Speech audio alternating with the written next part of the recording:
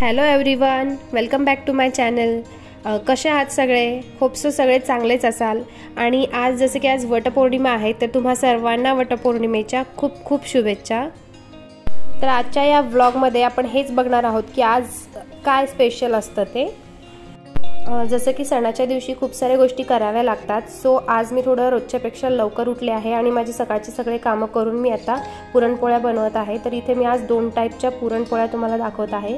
एक आहे तगड. तगड म्हणजे जे एक लोखंडी पत्रा असतो त्याच्यावरती आपण तेलावरती पोळी बनवून घ्यायची. आणि ही पोळी आपण नेहमीच्या बाकीच्या ज्या पोळ्या आहेत तशानुसार भाजून घ्यायची. या पोळीला वरून तेल लावायची गरज नाही आहे कारण ऑलरेडी आपण ही पोळी तेलामध्येच बनवलेली असते. तर चवीला ही पोळी एकदम मस्त लागते. एकदा नक्की ट्राय करून बघा. इथे तुम्ही तेलाच्या ऐवजी तुपाचाही वापर करू शकता. जर तुम्हाला तूप आवडत असेल तर तेही बेटरच होईल. आता मी दुसऱ्या टाईपची पोळी बनवते जे नॉर्मली आपण सगळेच बनवतो पीठ लावून.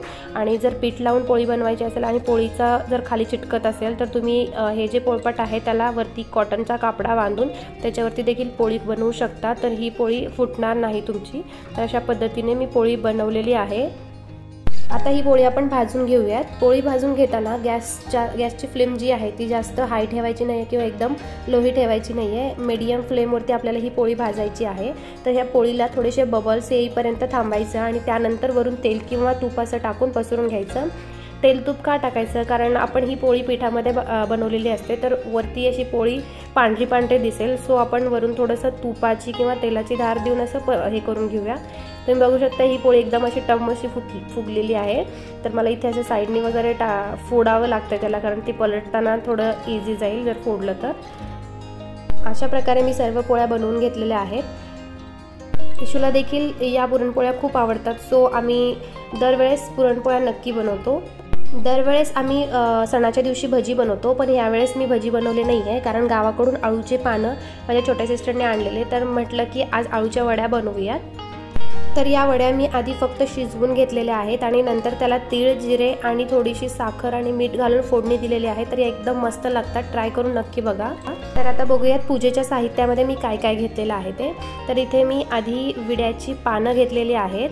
दोन विड्याची पानं मी इथे घेतलेली आहेत. ओटीचं साहित्य घेतलेलं आहे. जे विकत भेटतं आपल्याला कुठल्याही शॉपमध्ये नंतर हा धागा घेतला आहे फेरे मारण्यासाठी. कापूर घेतलेला आहे. नंतर इथे माचीसची डब्बी घेतलेली आहे तिथे असेल नसेल म्हणून. नंतर मी पाच अगरबत्ती घेतलेल्या आहेत नारळ घेतलेला आहे हळदी कुंकू घेतलेला आहे नंतर तांब्या भरून पाणी घेतलेलं आहे आणि ओटी भरण्यासाठी मी हा एक ब्लाऊज पीस घेतलेला आहे त्याच्यावरती ओटी सामान ठेवलेलं आहे आणि तांदूळ ठेवलेला आहे. त्यानंतर थोडेसे फुलं घेतलेले आहेत आणि इथे निरांजन घेतलेलं आहे ओवाळण्यासाठी.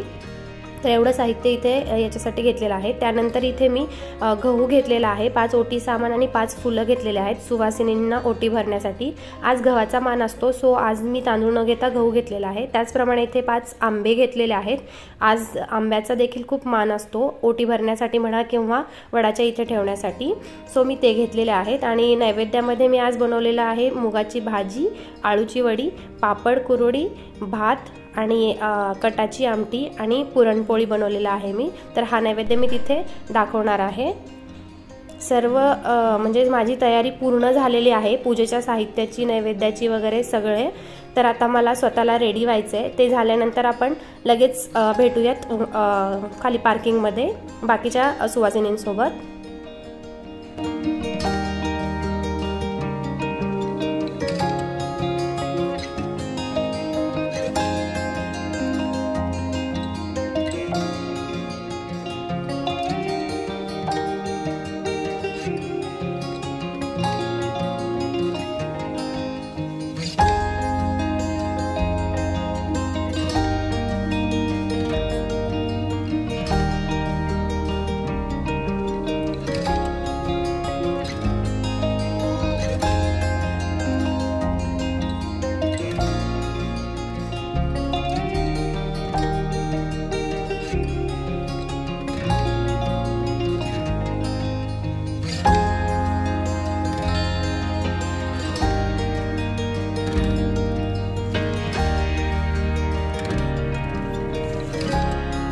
तर आजचा हा माझा गेटअप आहे. तर आम्ही आत्ता सगळे तयार होऊन खाली पार्किंगमध्ये आलो आहोत आणि इथून पुढे आम्ही त्या वटवृक्षाजवळ जाणार आहोत. सगळ्याजणी खरंच खूपच छान तयार झाल्या आहेत आणि सगळे एकदम मस्त दिसत आहेत आज.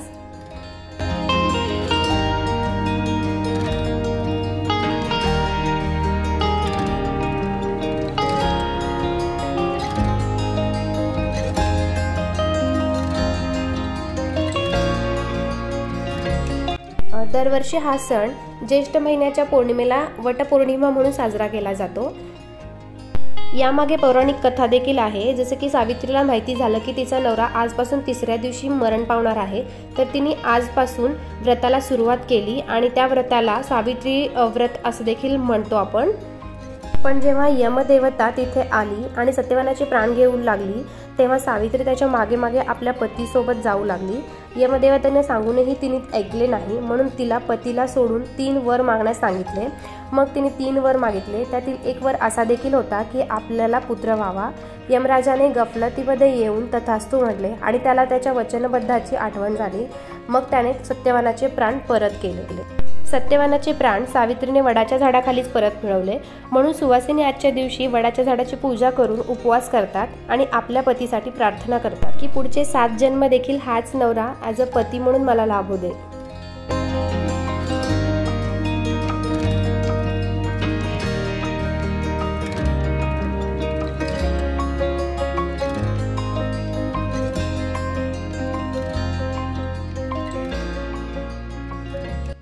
हे जे आपण वडाच्या झाडाला पाच फेरे मारतो या फेऱ्यांचा माझ्या दृष्टीने अर्थ असा आहे की एक फेरा तुमच्या आरोग्यासाठी एक फेरा तुमच्या प्रेमासाठी एक फेरा तुमच्या यशासाठी एक फेरा तुमच्या दीर्घायुष्यासाठी एक फेरा तुमच्या आणि माझ्या सात जन्माच्या नात्यासाठी.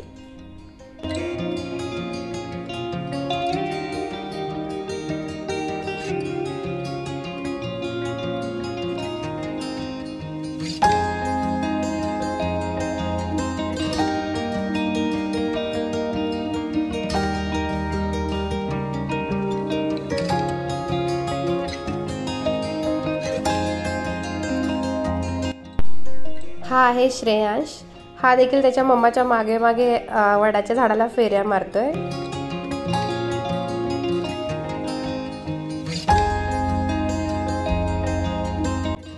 इथे यांचा फोटोशूट चाललेला आहे.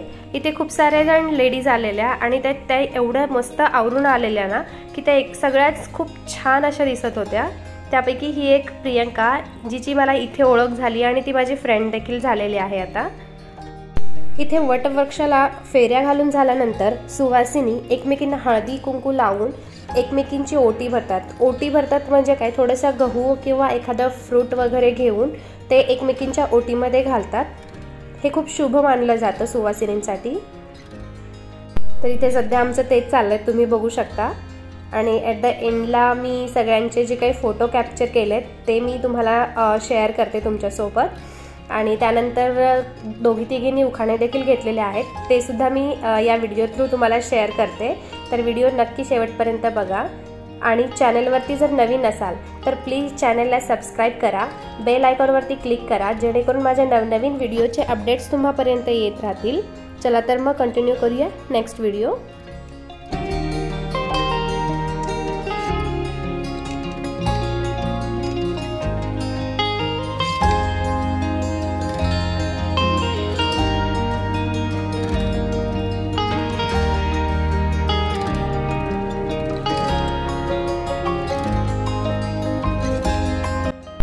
इथे एक छोटीशी मुलगी देखील तिच्या मम्मासोबत आली आहे. खूप क्यूट अशी ती दिसते. तिचं ड्रेसिंग वगैरे पूर्ण असं ट्रॅडिशनल आहे.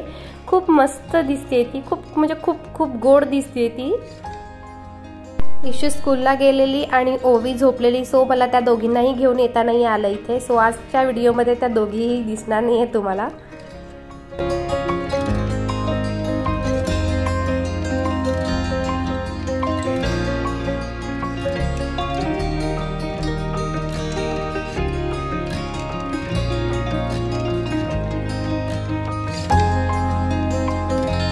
पौर्णिमेच्या दिवशी एक उखाणा तरी झालाच पाहिजे. आपण ना? पौर्णिमे दिवशी वडाला फेरे घेते सात रावांचे नाव घेते त्यांची जन्मजन्मी लाभो सात. मंगळसूत्राच्या दोन वाट्या सासर धनाजीरावांचं नाव घेते सपकाळांची सून. वाव छान. आत्ता आमची पूजा झालेली आहे आणि आम्ही रिटर्न घरी निघालो आहोत. तर मी आज जेवणामध्ये म्हणजे स्वयंपाकामध्ये काय काय बनवलं आहे ते सुद्धा तुमच्यासोबत शेअर करते. तर इथे मी आज पुरणपोळी बनवलेली आहे. त्यासोबतच चपाती देखील बनवलेली आहे. ही चपाती मी त्या सेम तगडावरती बनवलेली आहे. दूध कटाची आमटी दुधावरती थोडंसं तूप त्यानंतर मुगाची भाजी चपातीसोबत खाण्यासाठी भात बनवलेला आहे.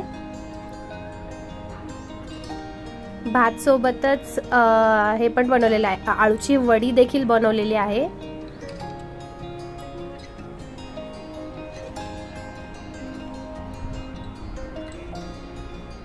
त्यानंतर पापड कुरडी हे पण बनवलेलं आहे. तर असा आजचा माझा जेवणाचं ताट होतं. तर या सगळे जेवायला